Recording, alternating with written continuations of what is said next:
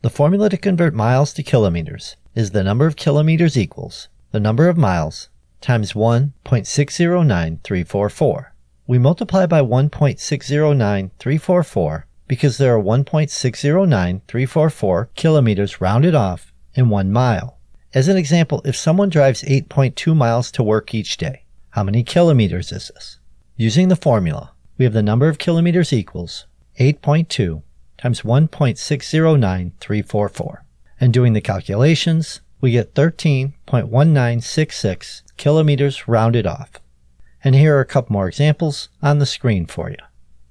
All right, my friends, hopefully you got something out of this video. I do have more videos right there for you.